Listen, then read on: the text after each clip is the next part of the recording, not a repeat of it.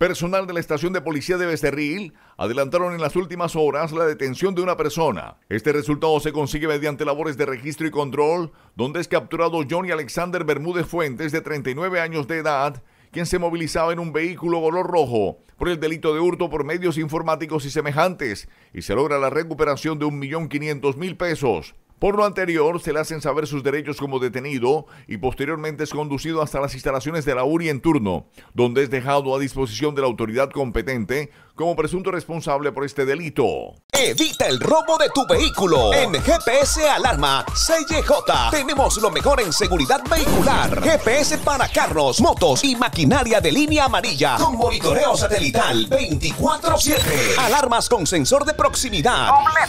Sencilla. Todas con encendido a distancia. Cámaras de seguridad. Sistema de bloqueo central para puertas de carros. Llámanos 313-803-6453. 305-240-1014. Diagonal 18D 2050. Los Caciques.